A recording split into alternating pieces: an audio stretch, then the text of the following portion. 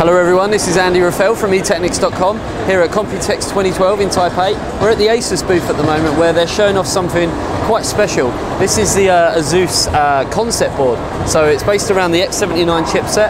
Uh, as you can see, because of that, we have got uh, eight DIMM slots in total. But as you can see, there are no uh, expansion slots on this board whatsoever.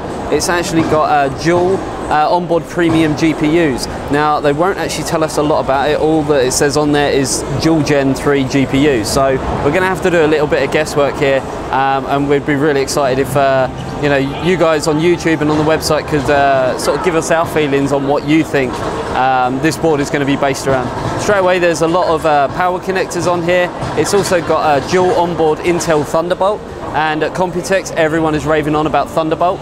Uh, 8 DIMM design, lots of power on this board, overclocking features, we've got buttons at the top, uh, plenty of serial ATA ports. Um, DDR3 support is 128 gig, has DigiPlus power, all the latest stuff that you'd expect from a, a high-end Asus board. But at the moment, this is just a concept board based around the Intel X79 chipset. Uh, we will uh, try and get as much information as we can about this board as we know. Um, but for now, all we can really leave you with is uh, what we're seeing here today uh, in this glass cabinet. But as I say, we will try and get you a lot more very, very soon. Be sure to check out eteknix.com where we will have a lot more content for you at uh, Computex 2012, uh, not just from Asus, but from uh, all the manufacturers that we deal with on a day-to-day -day basis.